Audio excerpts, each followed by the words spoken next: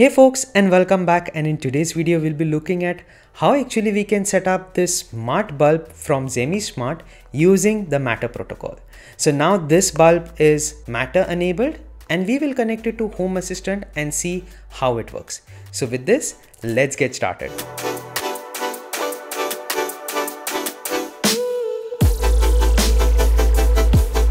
So today we have this particular LED smart bulb which is a matter enabled device.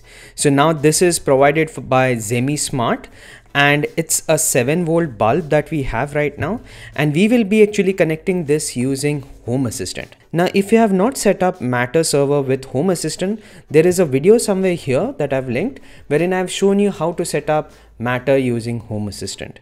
So today we'll be using that setup to actually connect this particular LED bulb and see how it works. So first of all, let's actually open this box and see its content. So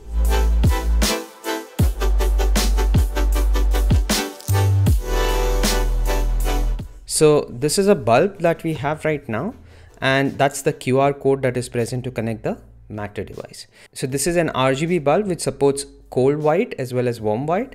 So today we'll be actually connecting this. So let's actually connect this bulb right now to this socket here and see how it works. And it's actually come on. But now we have to set this up using the matter QR code right? So what we are going to do is the QR code is present on this particular box here. So I'm going to use my app right now and I'm going to search for this particular QR code. So let me scan this particular QR code and I'm going to click on it so now it's actually going to ask me to choose that particular app. So I'm going to select choose another app and I'm going to select home assistant in this case. And I'm going to enable location services. And then it's going to now turn on my Bluetooth also because that's what is required. And now it's going to search for this particular device. So it's actually trying to search for this LED bulb right now and give it some time. It takes a few seconds for it to discover now it has moved to connecting to the device so it has found it and it's actually right now generating the matter credentials. So if you see here the network connectivity is being checked right now. So it took pretty much a good amount of time but finally the device got connected. So we actually connected this particular led bulb so it has moved to actually warm white right now. I'm going to click on done and now what I'm going to do is I'm going to add the device to my home assistant. So I'm going to select this and I'm going to say add device.